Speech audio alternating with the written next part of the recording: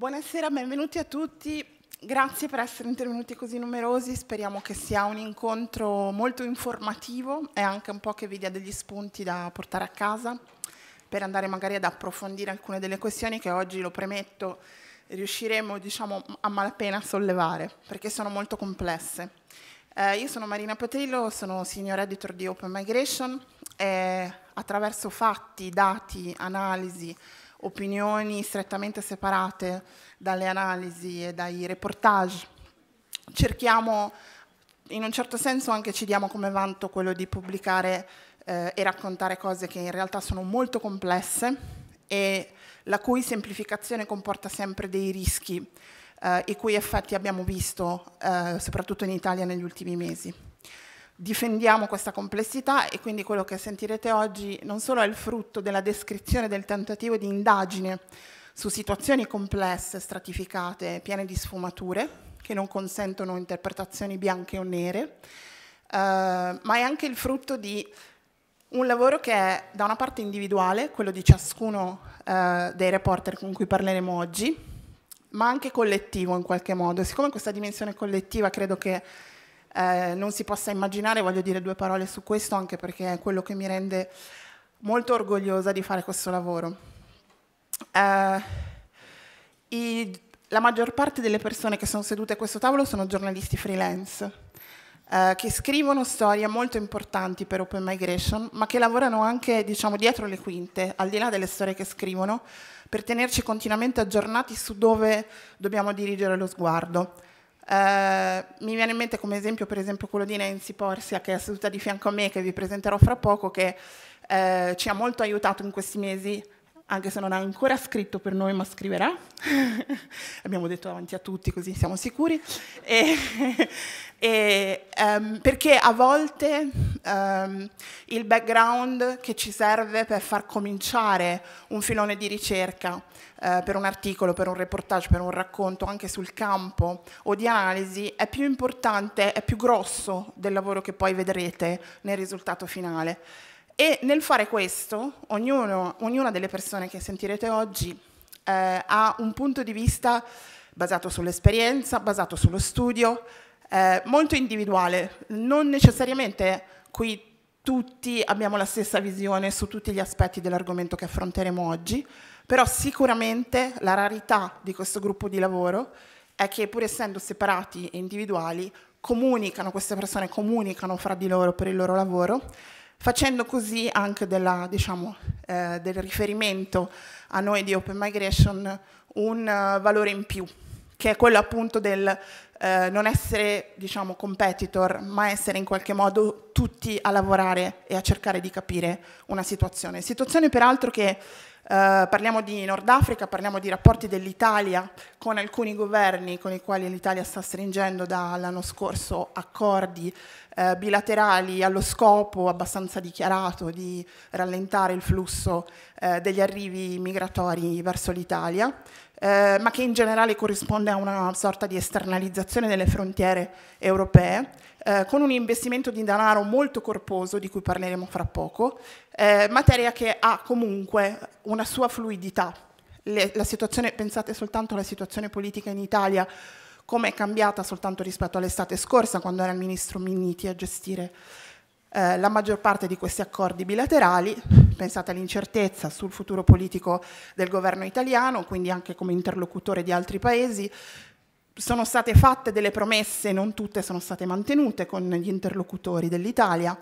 Eh, la situazione in Libia è continuamente fluida, continua a trasformarsi quasi a una velocità che rende difficile tenersi al passo. E intanto sono cambiate molte cose nel giro di pochissimi mesi anche in Niger, che è un altro paese eh, nel quale dovremo andare a posare gli occhi e lo faranno per noi verso eh, la fine di questa conversazione, soprattutto Daniele e Giacomo. Vi um, introduco eh, i nostri ospiti e poi faccio la prima domanda al primo di loro perché è sostanzialmente è un po' la domanda che ci guida. Ehm,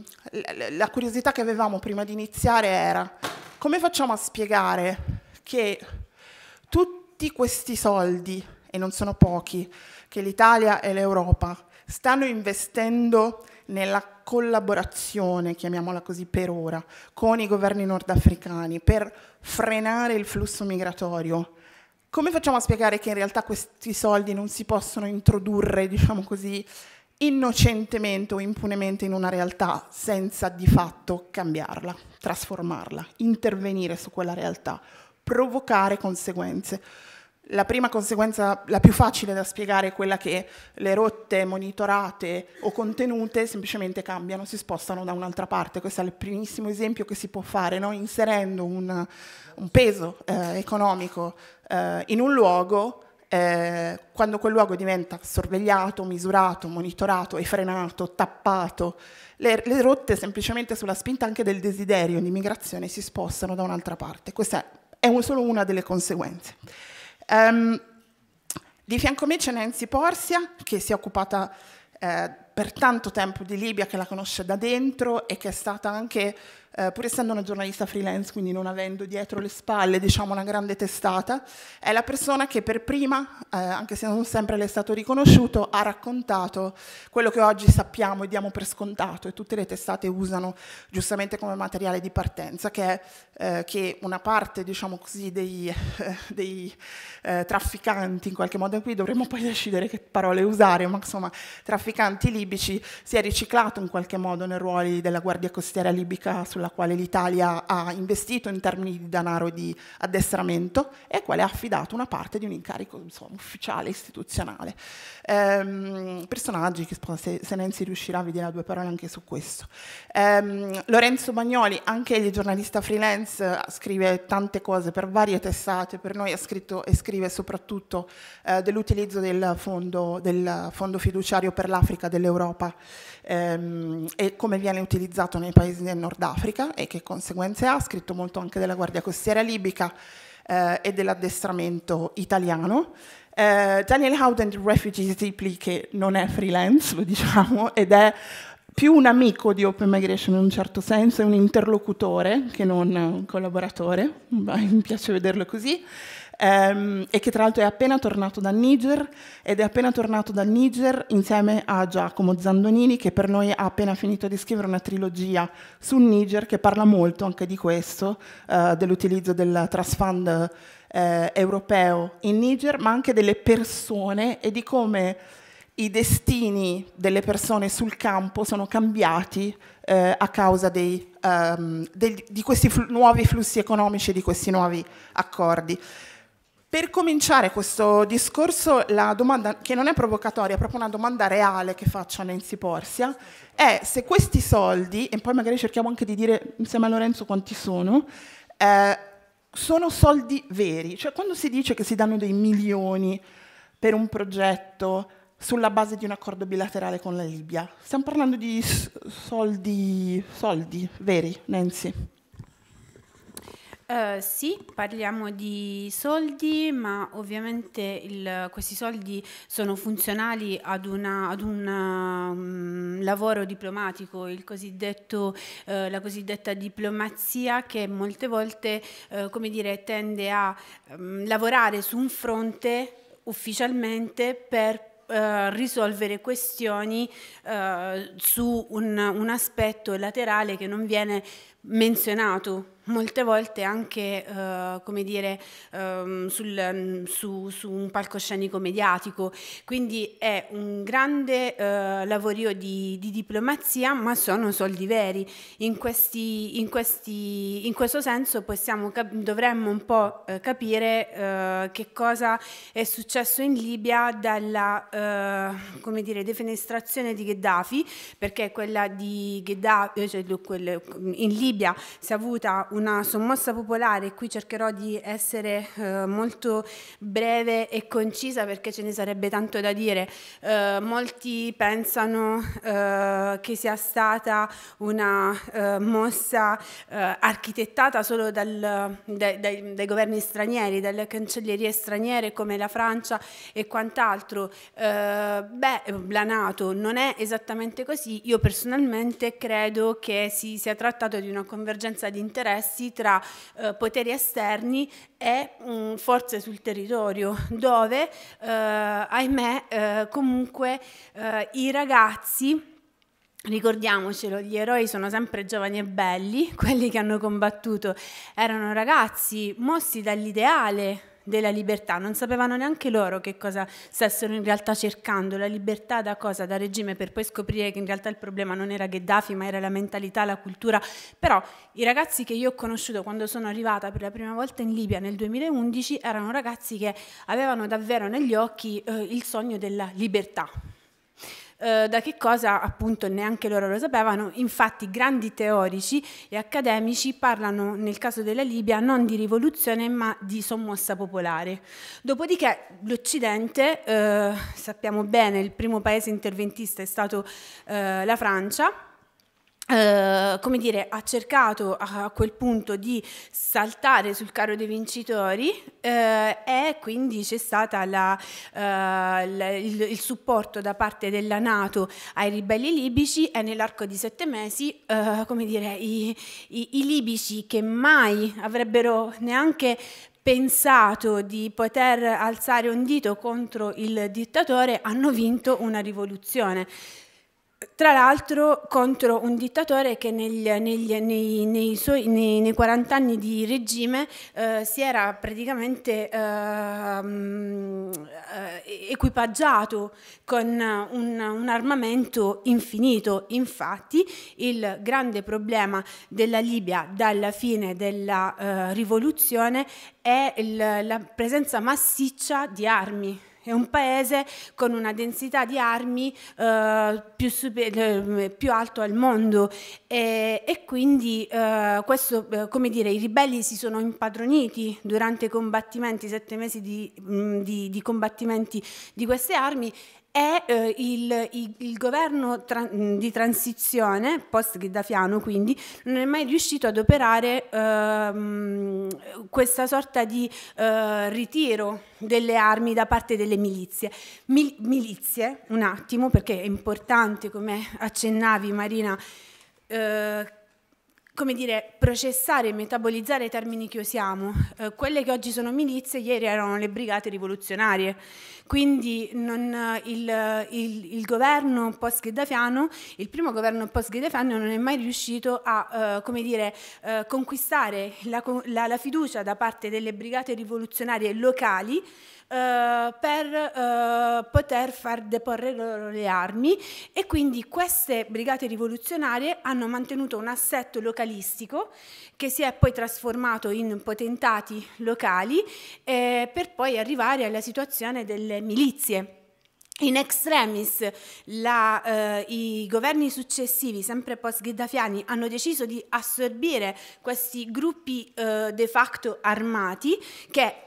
eh, come dire, mai generalizzare a seconda del, del, della,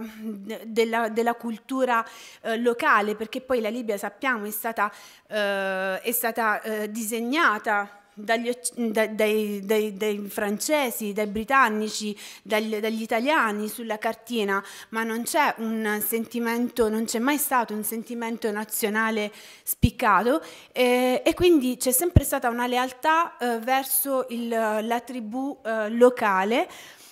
e, e questo ovviamente quando il, i governi post-gheddafiani hanno deciso di assorbire questi gruppi eh, armati nell'apparato di sicurezza, eh, chiaramente si, eh, anche, eh, si, sono anche eh, presi, assunti il, la responsabilità di fallire e hanno fallito, perché a seconda della, eh, della regione in cui ehm, questi gruppi si sono poi rafforzati,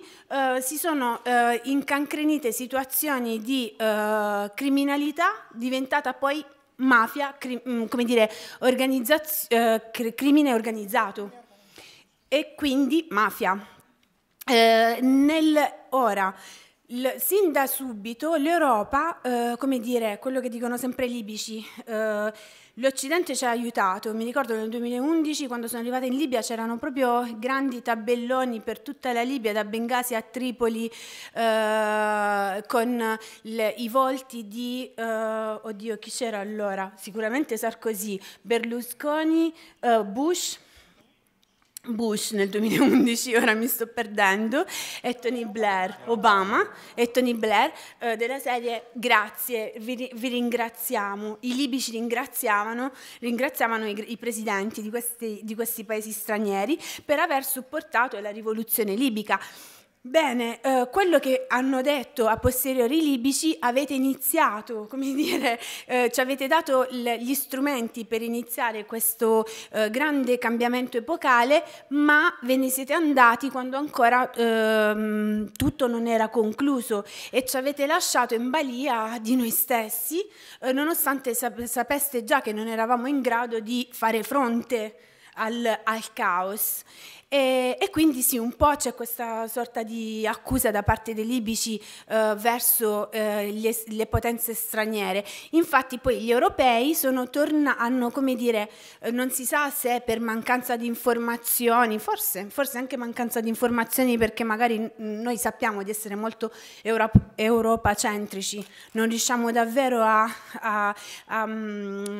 a metabolizzare delle categorie che non siano nostrane, applichiamo sempre le nostre categorie europee di democrazia e quant'altro a qualsiasi contesto dove in realtà mh, mm, bisognerebbe eh, porre un'attenzione differente e a, a essere anche in grado di decostruire la propria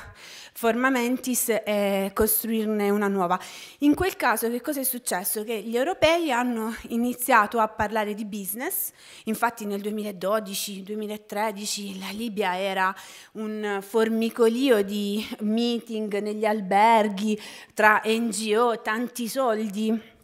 eh, da parte del mondo eh, straniero ehm, però eh, sì, eh, come dire, nel 2013, fine 2013, come sappiamo, eh, un po' il sogno libico è svanito, nel senso che dalle elezioni del 2012, che sono andate molto bene in Libia, a differenza dell'Egitto, Uh, a differenza della Tunisia, in realtà non hanno neanche vinto, eh, non ha neanche vinto il partito dei fratelli musulmani, fermo restando che i fratelli musulmani sono un partito politico che ha diritto ad entrare in Parlamento e non sono terroristi fondamentalisti. Cioè, mm, potremmo parlare un po' della democrazia cristiana nostra, se vogliamo.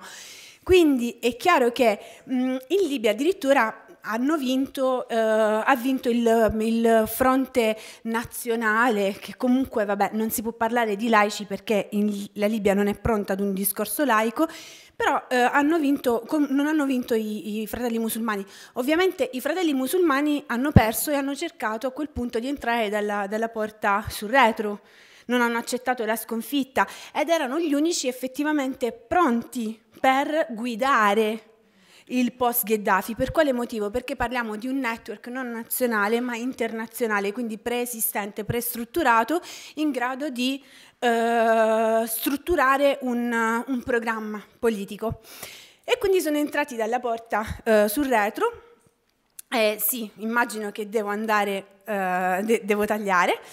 E, e, che cosa è successo? Che nel, a, fine, a metà 2013 si sono avuti i primi uh, scontri tra le ex brigate rivoluzionarie che nel frattempo erano diventate milizie e che si erano divise tra i due blocchi, tra il blocco, il blocco dei fratelli musulmani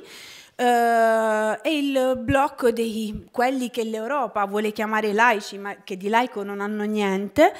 ehm, e, niente, in quel caso uh, che cosa è successo? È successo che si è andato alle seconde elezioni, queste seconde elezioni uh, non sono state riconosciute dai, dagli, da, da, dagli, islamisti, dai fratelli musulmani che le hanno perse, eh, loro sono rimasti uh, nel loro, nel, nelle loro postazioni e eh, si è creato questo mostro a due teste, la famosa Libia divisa tra est e, mm, e ovest, con due gru- due coalizioni di uh, milizie. Solo che da una parte Haft- c'è Haftar, la grande coalizione delle milizie, dall'altra ci sono come dire, un gruppo di, è una coalizione molto, molto uh, ibrida, nel, uh, si va dai, fondament- dai, dai, dai, salafiti, ma anche Haftar ai salafiti, fino a gruppi che io personalmente so essere atei, cioè che in realtà vanno contro i soldi, che cosa è successo? È successo che l'Europa ha iniziato a parlare la lingua della migrazione, no? Ossia, il nostro problema non è capire la complessità della Libia, quella cerc- a cui ho cercato di farvi accenno fino ad ora, ma eh, ha cercato di eh, puntare tutte, c'è stato un fuggi-fuggi generale alla fine del 2013 di tutte le, le, le, le società straniere, con gli, gli scontri all'aeroporto di Tripoli, eh, parliamo di luglio del 2014, ovviamente anche le ambasciate sono andate via proprio sembrava la notte dei, dei, dei coltelli, eh, tutti sono scappati, è rimasta solo quella italiana. Famo a capisse, cioè, voglio dire, gli italiani sono rimasti, non è stato un caso, non, non si abbandona mai il territorio eh, della propria ex colonia. E, e quindi niente, eh, sono andati via tutti. E si è insistito sulla migrazione. Ora, sappiamo perfettamente che innanzitutto la Libia non è eh, negli ultimi, non, non, lo sappiamo, lo dobbiamo dire, questa purtroppo è una cosa che non viene mai eh, analizzata, la Libia negli ultimi vent'anni ha appunto da ammortizzatore eh, economico dell'intero continente africano. Quindi in realtà eh, i grandi numeri sono saliti del, diciamo, della gente che attraversa il Mediterraneo per via del, del collasso dell'economia libica. Eh, io personalmente, sta, facendo anche eh, come dire, con MSF una missione eh, scorso, la scorsa estate, ho incontrato tre in, eh, infermiere indiane che eh, quando mi hanno vista eh, sul, sulla nave di MSF mi hanno riconosciuta, ah ma ti abbiamo visto all'ospedale di Misurata. E loro eh, erano in lacrime, piangendo mi hanno detto noi abbiamo vissuto quasi vent'anni in Libia, eravamo contentissime, eh, stavamo benissimo, non siamo venute via per mh, mm, mancanza di sicurezza, Uh, stavamo bene prima, stavamo bene, cioè prima, durante Gheddafi stavamo bene anche dopo la rivoluzione. Il problema è che l'economia libica è crollata e oggi il denaro libico non vale più a nulla. Il circuito Uh, anche proprio del wire, money wire, quindi MoneyGram, um, Western Union è saltato e noi ci ritroviamo con un, un, un, una moneta, una valuta che è carta straccia. Se prima, io, se prima guadagnavamo mille dinari libici che corrispondevano a 600 dollari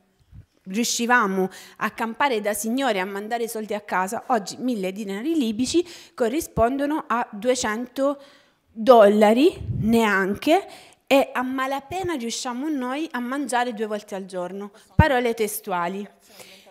la migrazione diventa lucrativa e, e, e ovviamente eh, poi, voglio dire, qui mi, mi fermo perché eh, cioè, faccio solo un accenno e poi magari nel nuovo giro, sì. E, e quindi l'errore dell'Europa è stata quella di, dell'Europa, eh, è stato quello di concentrarsi sulla migrazione e di non capire che la priorità in realtà era la stabilizzazione del paese stesso. Quindi si parlava una lingua che i libici non neanche sopportavano perché loro si sentivano, come dire, anche non rispettati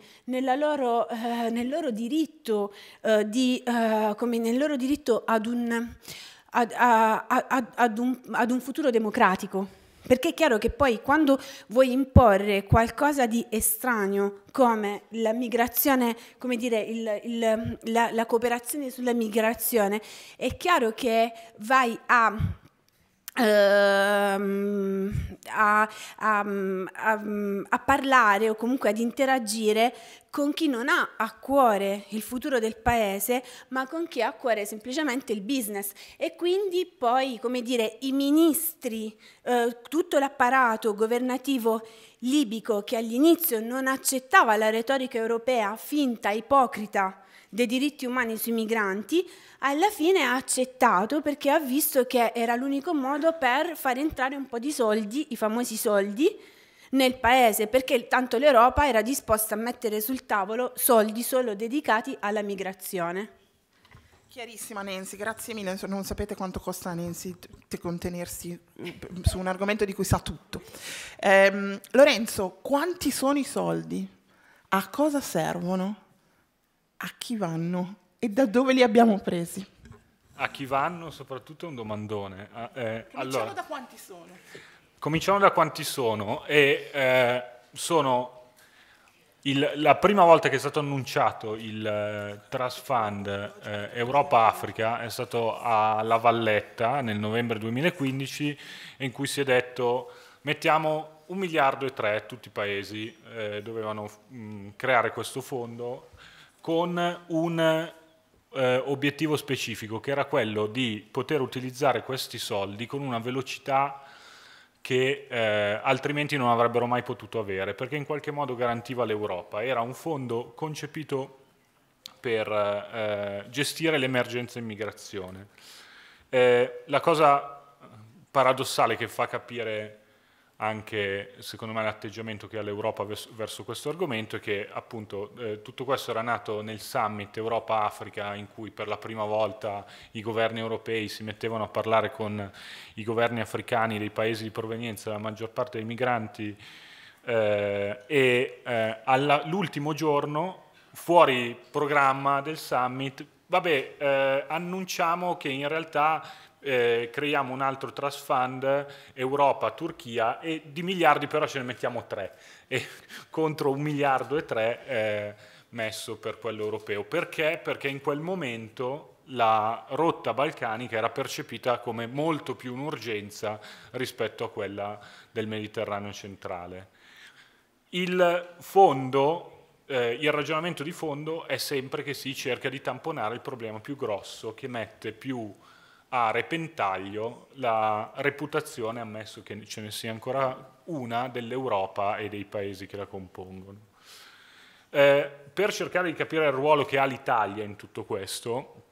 bisogna risalire almeno fino al 2014. Nel 2014 è, è iniziato quello che eh, è definito il processo di Khartoum. L'Italia eh, ha, mh, ha, mandato eh, ministro, ministro, degli esteri e funzionari a parlare con i paesi di provenienza eh, dei migranti. È partita dal, dal Corno d'Africa perché all'epoca era quella di nuovo l'emergenza, che è la parola chiave poi per, per capire tutta questa storia.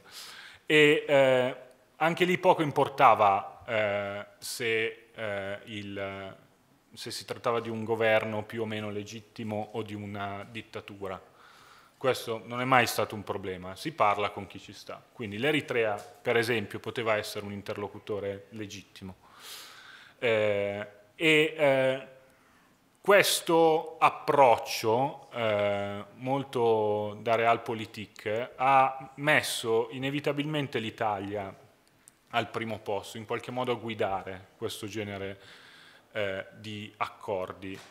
In più il ruolo, eh, il, la, la, mh, diciamo, la posizione geografica e il fatto che la maggior parte dei migranti arrivi in Italia inevitabilmente ha contribuito a eh, aumentare le, le azioni dell'Italia nel, nel, nel gestire questo processo. Poi nel 2015 arriva la Valletta e eh, l'introduzione dei meccanismi del Trust Fund, eh, che nel 2016 inizia a eh, dare i suoi effetti con eh, in più una forma di collaborazione più stretta fra Italia e, e Libia che prevede la formazione della, della Guardia Costiera. Eh, L'Italia in particolare ha contribuito eh, di nuovo eh, fin dai primi mesi dopo l'introduzione del Trust Fund con un centinaio di milioni di euro per eh,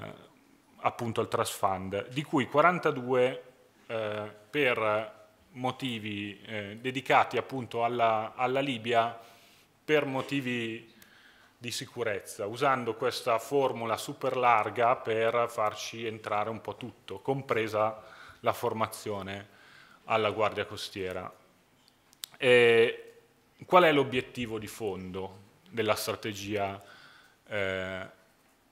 pensata fin dalle origini da Minniti e non solamente da quando è diventato ministro dell'interno?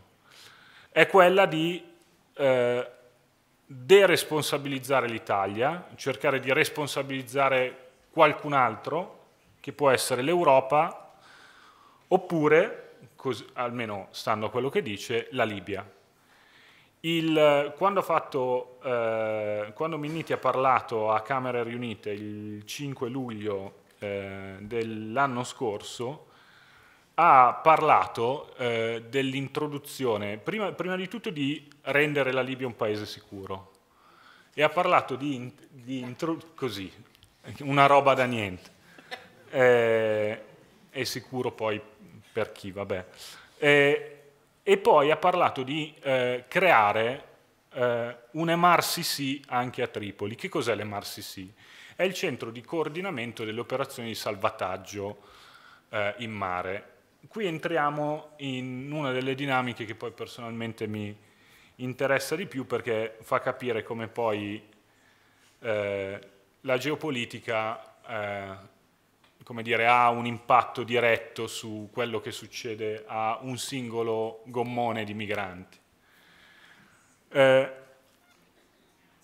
sono il Mediterraneo, il corridoio di, di mare eh, percorso da tutte queste navi e da, da, tutti questi barconi e barchini che partono dalla Libia è suddiviso in zone che si chiamano eh, Search and Rescue Region, SRR. Eh, ogni SRR ha eh, diciamo, una capitaneria di porto e un centro di coordinamento che è responsabile dei salvataggi. Lo, da, eh, di nuovo, almeno dal 2013 e dal 2014, l'Italia ha sempre avuto un ruolo predominante, prima perché eh, i barconi arrivavano fin sotto eh, vicino alle coste di Lampedusa e poi perché l'Italia è il paese con cui la Libia ha parlato sempre di più e con cui la, la cooperazione è sempre stata attiva. In mezzo c'è Malta, che è un grande mistero, nel senso che eh, Malta ha sempre allargato a dismisura la sua SRR, perché una SRR porta soldi eh, perché sono necessari, mh, che ti puoi fa far ridare dall'Europa perché ci sono delle compensazioni per poter gestire le operazioni in mare, e, eh, però non ha mai avuto degli assetti navali in grado di gestire le operazioni, sostanzialmente. E in più ha sempre avuto dei governi che non hanno voluto mai investire in centri, di nessun genere, non li chiamo né di detenzione né d'accoglienza, nessun centro. A Malta c'è stato un periodo in cui c'erano dei centri in cui diciamo che il rispetto dei diritti umani era abbastanza dimenticato, eh, poi dal 2014-15 praticamente non, non, non sono più arrivati migranti. E sull'isola si è sempre parlato di un accordo misterioso tra Italia e Malta, eh, in cui sostanzialmente l'Italia avrebbe preso i migranti in cambio della possibilità di esplorare le acque territoriali eh, maltesi in cerca di petrolio. A, personale, eh, a, mio personale giudizio è una follia ed è, in, forse non è un caso che l'ultimo a parlarne al Parlamento europeo di questa teoria sia stato Mario Borghezio, forse non è esattamente un caso. Eh, e, Mm, però il, il, dato di fatto è che a Malta eh, non arriva nessuno. Quindi se su Malta non possiamo contare, il ragionamento di Minniti è formiamo i libici per farlo. Che non hanno, che non hanno un MRCC. Che non hanno un MRCC anche perché insomma, eh, gli mancano un'altra serie di cose prima di arrivare a coordinare, eh, a coordinare le missioni di salvataggio. Un caso emblematico che fa capire la dinamica di quello che succede in mare è l'ultimo eh, che ha riguardato Open Arms, eh, che, a cui sapete è stata sequestrata eh, la nave eh, eh, con l'accusa di favoreggiamento dell'immigrazione clandestina. Eh, da quello che viene fuori dalle carte giudiziarie emerge sostanzialmente che l'MRCC di Roma aveva dato incarico ai libici di gestire, un, un di gestire, delle operazioni di salvataggio, in particolare tre eventi. Eh, e la Guardia Costiera libica era lì, pronta a fare, eh, pronta, in realtà non era lì, però in teoria pronta a, eh, a, fare, a, a gestire questa operazione. Eh, lì c'è stata una corsa in qualche modo a eh, chi si aggiudicava prima i migranti, perché l'obiettivo di Open Arms, ed è un obiettivo politico e secondo me è un obiettivo peraltro più che legittimo, è quello di, di fare in modo che i migranti non finiscano in mano ai libici, che poi li riportano eh, in Libia e il gioco dell'oca ricomincia, ma è portarli in un eh, paese sicuro, che è quello che, prevede, che prevedono le leggi internazionali. Eh, Open Arms riesce ad anticipare eh, i, i, libici e lì eh, succede quello che succede in diversi eh, episodi con, con, le ONG, cioè c'è una minaccia da parte della Guardia Costiera libica. Eh, tre minuti, ok. Eh, mh,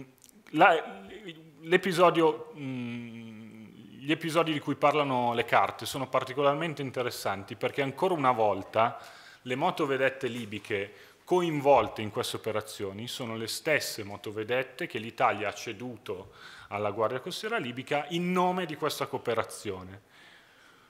Eh, è qui che c'è un cortocircuito per cui eh, c'è qualcosa che in questo modello non può funzionare.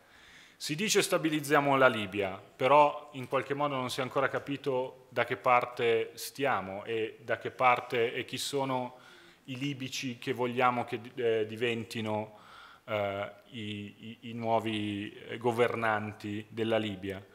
Eh, pretendiamo che siano in grado di gestire un MRCC e di coordinare un'operazione che altrimenti spetterebbe all'Italia in quanto unico paese in grado eh, sia per gli assetti eh, che ha a disposizione sia per capacità eh, di gestire questo genere di operazioni. Eh, e il risultato è quello che vediamo, cioè... Eh,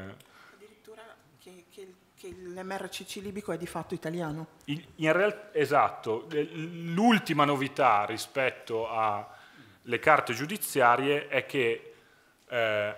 anche la gestione eh, appunto dell'MRCC libico sarebbe e, e, e, del coordinamento delle operazioni libiche sarebbe partito da una nave militare eh, italiana e a confermare che questa cooperazione in realtà ha portato l'Italia a stare in Libia a gestire eh, queste operazioni dalla Libia sperando un giorno di poterle lasciare definitivamente eh, appunto solo ed esclusivamente ai libici. Eh, in questo contesto, quindi, qualunque eh, asset venga dato a, alle autorità libiche, che siano motovedette o che siano soldi, anche solo promessi, perché di questi 42 mi milioni eh, di euro italiani è difficilissimo tenere traccia e capire dove sono finiti e a chi, eh, anche solo la promessa destabilizza. È quello che è successo per esempio a sud, dove a un certo punto eh, quelli che eh, erano i capi tribù che avevano partecipato alle, eh, alle, ai meeting con l'Italia, eh, a un certo punto dicevano, beh, ma che cosa succede? Che cosa ne facciamo di, di, del, delle grandi parole di cooperazione e delle grandi promesse di cooperazione che, eh, che ci siamo fatti con diversi incontri in Italia? Già quello eh, già l'aver partecipato a dei meeting in Italia ha portato un cambiamento anche nelle dinamiche locali. È inevitabile che sia così. E ogni volta che c'è un invito eh, a qualcuno, a qualche, a qualche personaggio importante per la Libia, a venire in Italia, già questo cambierà gli equilibri. Eh, e ovviamente chi lo fa lo sa benissimo e sa benissimo eh, le conseguenze che questo provocherà. Grazie Lorenzo. Um, è perfetto proprio questo punto per continuare il ragionamento invece con Daniel, che conosce molto bene la situazione in Libia, conosce molto bene la situazione in Niger, è stato in Giordania a seguire anche dei progetti. Um, ma la domanda, faccio anche a Daniel la domanda for dummies. Uh, the for dummies question for you, Daniel is queste persone these people know how to use this money. Like, I mean, the people who decide, the EU people, Itali- Italian people who decide to um, have this outpour of money, tutti questi soldi che vengono uh, impiegati in che viene, sotto l'egida di quella che viene chiamata cooperazione, sanno cosa stanno facendo, che effetti ha. Um, I'm going to we've we've dealt so far with quite a lot of um, the detail, the history of Libya. It's it's always so hard to decide where to start in order to say anything. Um, so I'm I'm going to go a, a, little bit more to the high level, um, and begin by saying that, much to my great surprise, um, we're now living in a golden age um, of political consensus around development aid for decades, um, development aid was fought over between the political right and the political left. Um, professors in Harvard who often knew each other and were rivals would, uh, like Bill Easterly, um, would, would row about whether development aid worked, whether it was useless, what it did. Um, but broadly speaking, if you were on the left, you were, and pro or you considered yourself progressive, you believed in development aid. If you didn't, uh, if, and you were on the right, it was all a huge waste of money. Um, what we've seen thanks to migration is most of the political right pile into the development aid space, making ludicrous statements about what development aid can be used to do. Um, I spent years um, as a correspondent um, knocking about in Africa, based out of Kenya, and development aid was a background story. We've, um, we all remember various different moments of European hyper enthusiasm for raising money for development aid and committing to development aid budgets. So I was very surprised in New York 2016 to hear right wing politicians, um, Britain's now Prime Minister Theresa May, talking enthusiastically about how development aid could be used to address what she called the root causes of migration. Um, because obviously migration is a disease and therefore it must have root causes. Um, what she meant by that um, is that European money finally could be poured into different situations in Africa, and it would have the miraculous effect um, of spurring economic growth, and people would decide to sit where they were. Um, in any other space, I mean, and this is passed off as realpolitik. It's some of the most preposterous magical thinking um, that we're going to see in our generation, and yet it's passed off as politicians um, taking part in Realpolitik. So when we talk about development aid, let's talk about it very briefly in, in the instance of Libya, and then talk about it in the instance further downstream of Niger. So in Libya's case, making a sensible argument that you are going to be able to invest in economic growth and economic development in the current security context is, is largely ridiculous. So when you, you have European trust fund spending, it's pretty much channeled through the Italian Interior Ministry. Sometimes entire chunks of it just get portioned off to the Italian Interior Ministry. Some of us should ask ourselves why Libyan border management funds are being managed by the Interior Ministry of Italy. I think even people in Italy's foreign ministry were quite curious about that too. Yeah. Um, they remember a time when foreign policy was determined by foreign ministries, not interior ministers. Um, so what you had in Libya's instance was just a lot of money poured into the security sector, um, pursuing the short-term goal of reducing um, northward um, African migration towards Europe at all costs the results of that were messy and uncertain. At the same time,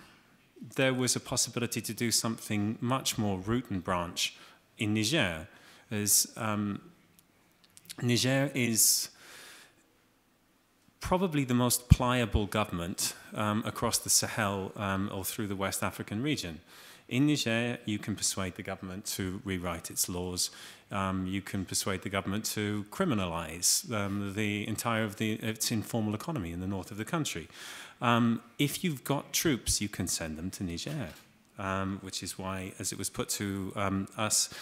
during the last week, it's easier to name European countries that don't have troops in Niger at the moment. Um, so you have a situation, and you get to see a little bit more of what is meant by the development agenda. So those of you who know um, or have a reasonable grounding in development aid will know that it's dominated by headbanging ideologues on one side and the other. One group says that development aid would work if we spent it at a large enough scale and we stopped worrying about um, the unintended consequences, and the other group says the more you spend, the worse things become. Um, the truth, of, of, course, lies somewhere in between those two extremes. Um, what we're being told now is that development aid can be used in order to achieve short and medium term results in terms of dissuading and deterring um, northward migration from African states. Um, there is absolutely no evidence to support this. If you believe that development aid works, um, then you will say the more money that the European Union Trust Fund spends in order to spur development um, is going to lead to economic growth in these countries. Well, what's the effect of um, economic growth, even sustained economic growth? One of the first um, things that happens from uh, countries of a relatively low in development index who then take a forward step through development aid is that it increases migration. It's a perfectly rational coping strategy. If you give a middle class European a sudden surge of income, one of the first things that they will likely do is set up a portfolio of different things that they invest in in order to protect their money. That might be a car, it might be a house, it might be a shop, it might be something else.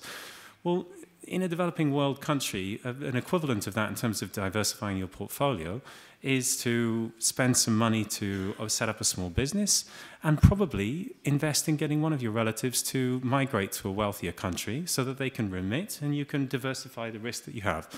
So this, this is, if you believe that European money spent um, in, on development in, uh, in the sub-Saharan Africa has an effect, um, it will have an effect of increasing migration. So we're in a phase of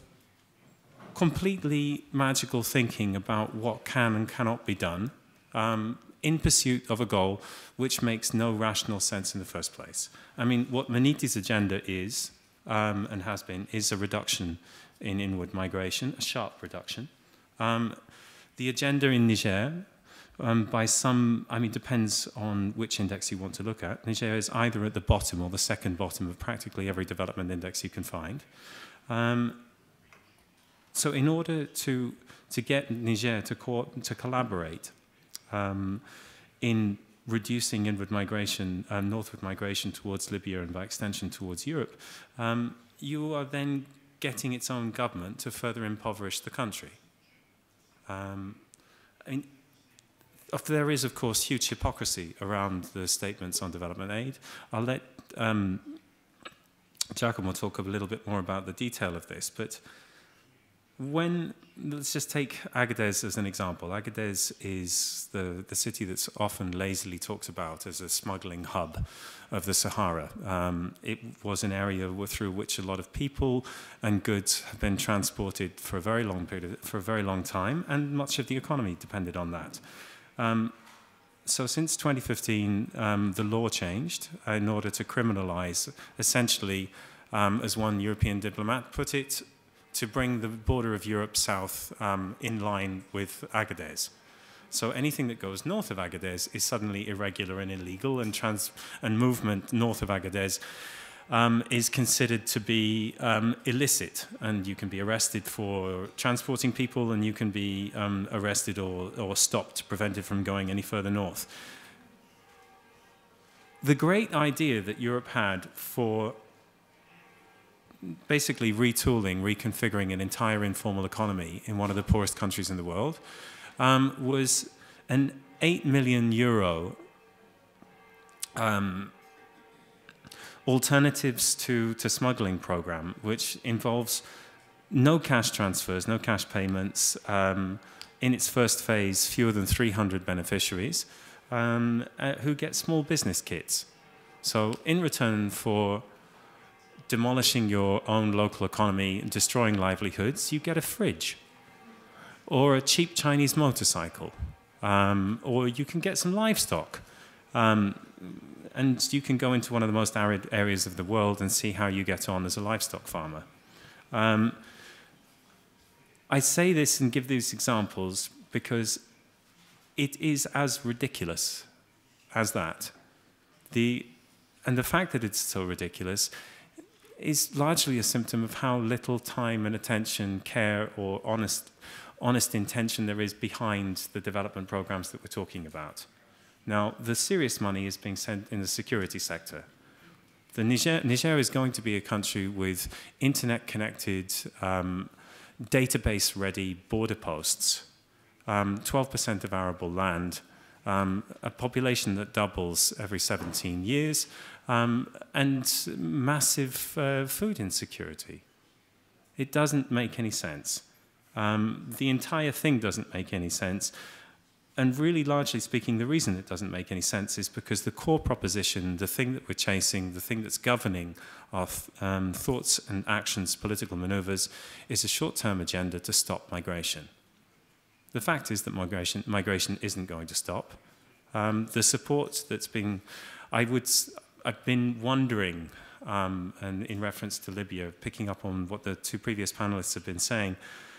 there was a time three or four years ago where I genuinely think that on, from the European side, there was suddenly a huge hurry to try and stabilize Libya because it was finally understood that the collapse of the Libyan economy um, unleashed a tremendous number of job seekers, economic migrants, refugees um, in the direction of Europe.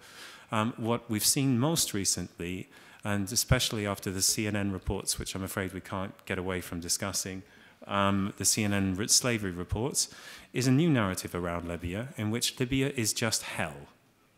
And it turns out that Libya is hell and chaos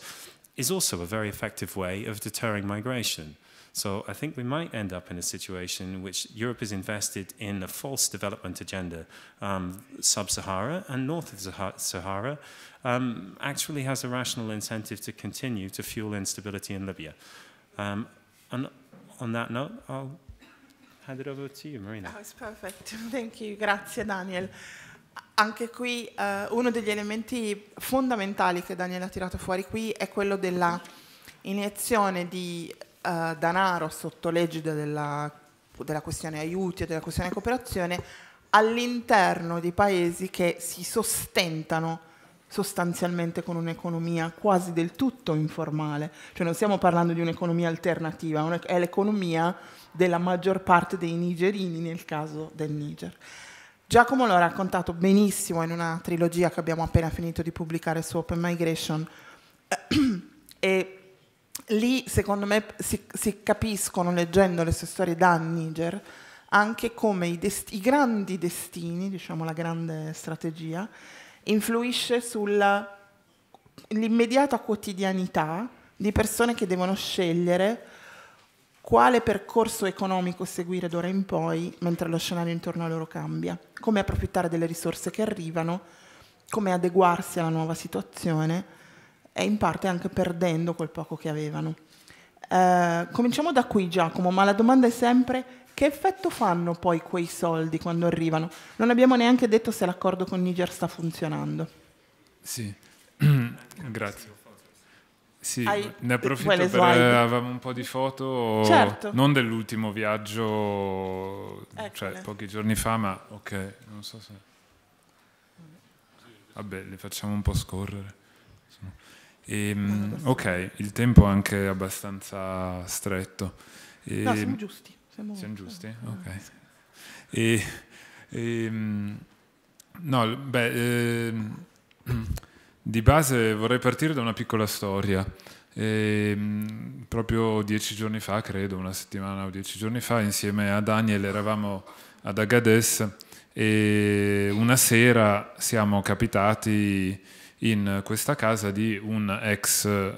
li chiamano la burocrazia, adesso li chiama gli attori della migrazione, la burocrazia europea, per non dire, poi chiaramente quando parli nel, negli uffici dei rappresentanti europei li chiamano i trafficanti, e, però c'è un po' questo sfasamento eh, per cui nei documenti ufficiali sono gli attori della migrazione, con cui si indica, un termine con cui si indica eh, tutte quelle persone che erano coinvolte in questa grande eh, economia informale eh, attiva soprattutto nella regione di Agadez, però non solo, per esempio, ne vedete alcuni nelle, nelle foto. E, ehm, eh, significa dai passeur che sono eh, le figure, è un'economia che ha poi delle rappresentanti e delle insomma, dei, degli impieghi molto definiti al dettaglio che vanno dal passeur che è eh, la persona che in qualche modo ha in carico una serie di attività, quindi può gestire dei cosiddetti ghetti o connection house dove le persone vengono ospitate e essere proprietario di veicoli, quindi soprattutto di pick-up eh, Toyota per il trasporto verso Libia e Algeria, eh, ma anche essere referente in qualche modo per eh, chi gestisce la ristorazione, chi gestisce l'accompagnamento eh, verso, durante la partenza o delle persone a fare la spesa con i mototaxi o i tuk-tuk eh, quindi piccoli taxi collettivi e insomma una serie, chi vende i, i bidoni d'acqua, come avete visto, chi vende gli occhiali, chi vende i passamontagna per attraversare il deserto. Questi sono gli attori della migrazione a cui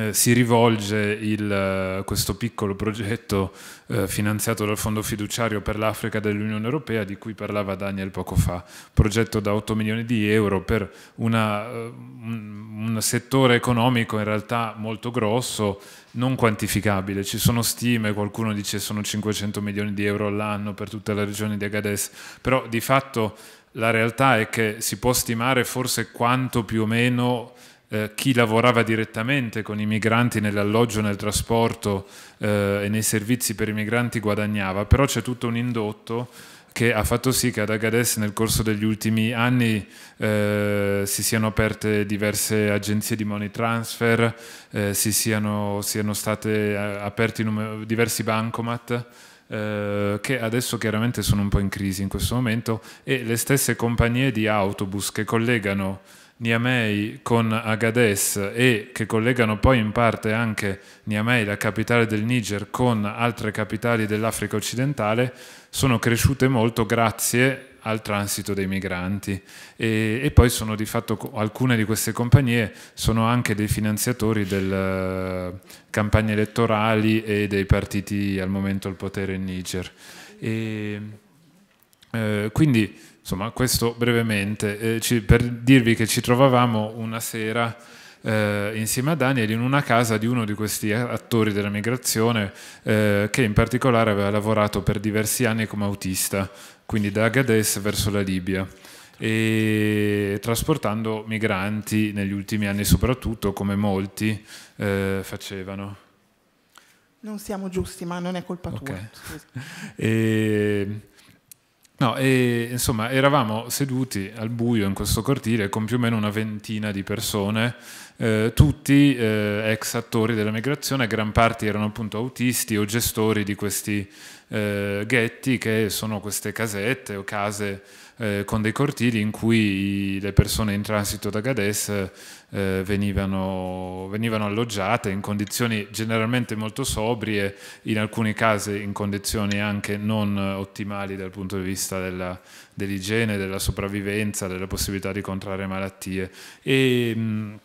eh, ecco, però eh, di fatto eh, insomma, abbiamo per un paio d'ore chiacchierato con loro e eh, un gruppo di persone, eh, quasi 300 persone, di cui c'erano lì alcuni rappresentanti, che eh, hanno deciso di eh, cercare di riconvertirsi in autonomia, di, hanno detto beh, smettiamo questo lavoro della migrazione perché oggi siamo... Eh, insomma è diventato illegale, eh, quindi da un giorno all'altro siamo diventati, ci considerano criminali, eh, e quindi smettiamo e cerchiamo di fare qualcos'altro. Di fatto hanno visto che il progetto dell'Unione Europea che poi è convogliato attraverso uh, tre piccoli progetti, eh, in realtà quindi soldi che vanno non direttamente ma tramite queste eh, questi contributi con avvio di attività economiche sono meno di un milione di euro, poi il resto va tutto in attività eh, diciamo di supporto, di creazione di, di, impiego in tempi rapidi con eh quindi di cash for work cosiddetto, altre insomma, iniziative di cooperazione abbastanza tradizionale però nel, in un tempo molto rapido che quindi durano un anno, un anno e mezzo che è la durata del progetto e poi eh, finiscono. E, insomma loro hanno deciso di fare, cercare di eh, auto-organizzarsi per creare qualcosa da sé e hanno creato un'associazione, quindi l'associazione degli ex passeur, degli ex attori della migrazione, che non è l'unica, però forse è quella più grossa e è nata in modo un po' indipendente eh, rispetto a un'altra che è stata sponsorizzata in qualche modo dal, eh, dalle autorità locali. E la cosa interessante, prima Nancy parlava del linguaggio, di come eh, la questione della migrazione sia in campo dello sviluppo è entrata come fattore che mette d'accordo un po' tutti, come diceva Daniel, e diceva Nancy anche in Libia, insomma, eh, hanno imparato il linguaggio della migrazione perché comunque hanno capito che da lì si può ottenere qualcosa. E ehm, questi ex passeur, persone gran parte delle quali sono non alfabetizzate, prima di fare questo lavoro magari l'hanno fatto per molti anni, alcuni dai primi anni 90, quindi da 25 anni, hanno passato la loro vita da quando erano adolescenti fino all'altro ieri a eh, trasportare persone e cose attraverso il Sahara. Eh, e alcuni erano poi, come molti, che ha un background, se vogliamo, eh, ancora presente, eh, erano mh, piccoli agricoltori o allevatori in una regione però che eh, molto arida, in cui le condizioni sono molto difficili, ci sono state dagli anni Ottanta soprattutto una serie di, eh, di, periodi di eredità e di carestie molto forti, eh, quindi insomma diversi elementi che hanno portato poi a, a eh, queste persone a, a, entrare e a lavorare nel, nel trasporto. Ehm, e eh, hanno creato questa associazione che stanno cercando di far riconoscere a livello nazionale e hanno chiamato, eh, hanno capito che avevano, gli mancavano alcune competenze, cioè dovevano scrivere dei progetti per esempio, addirittura anche tutti questi ex passor per avere questi eh, 1500 euro dei progetti di riconversione dovevano scrivere un progetto nessuno chiaramente aveva la minima idea, cioè penso già eh, personalmente io che insomma in teoria ho un livello di studio più elevato, difficoltà a scrivere un progetto purtroppo, ma eh, figuriamoci una persona che insomma non, eh, non l'aveva mai fatto in vita sua, ma appena sapeva scrivere soprattutto in francese. E quindi lì poi è stato un altro business per cui eh, hanno il business di chi scriveva i progetti per i eh, per gli ex passeur che quindi dovevano pagare per poter poi avere de- qualcuno per poter avere, poter avere dei soldi. E, ehm, però di fatto, tornando alla nostra associazione di 200-300 persone, eh, hanno scritto uno statuto molto bello in cui hanno proprio declinato l'idea della cooperazione che piacerebbe a tutte le cancellerie e ai ministeri europei, parlando degli obiettivi del millennio e di altre, eh, insomma, eh, dichiarazione delle, delle, Nazioni Unite sullo sviluppo, di una serie di, eh, citando nel, una serie in apertura una serie di convenzioni internazionali. Quindi secondo me è un esempio interessante perché hanno poi chiesto a questa uh, persona che tanti anni aveva lavorato con un ONG che era in pensione di aiutarli un po' a mettere giù qualcosa. Uh, e quindi stanno, è interessante perché poi un'altra cosa che, di cui ci siamo accorti è che i progetti europei sono progetti individuali, di fatto vengono da me, da Daniel, dicono ok, smet, firmi questa cosa, stai smettendo di fare questo lavoro, dici cosa vuoi.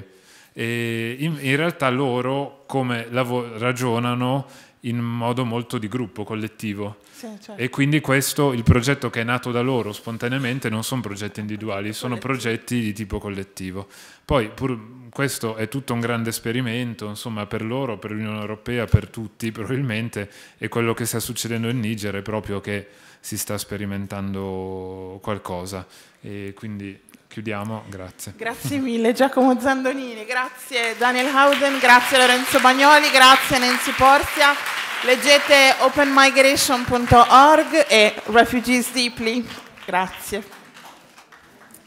C'è un panel proprio subito dopo questo, per questo motivo usciamo tutti.